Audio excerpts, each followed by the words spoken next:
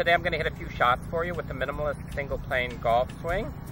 Uh, a lot of people have asked me lately uh, to show the various uh, clubs. I'm also going to have a ball position video, uh, but you should be able to see it here pretty clearly.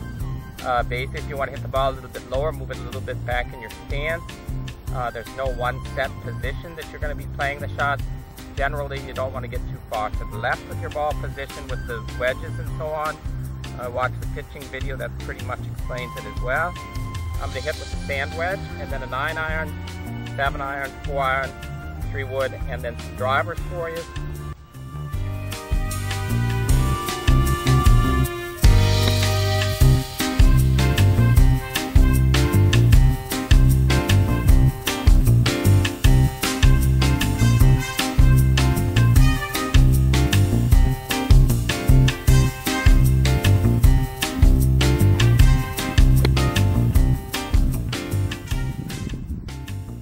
Here on the slow motion shots, you can stop the video by pushing the space bar and then use the arrow keys to go frame by frame to the right or to the left. You can also play and pause the video using the space bar as well.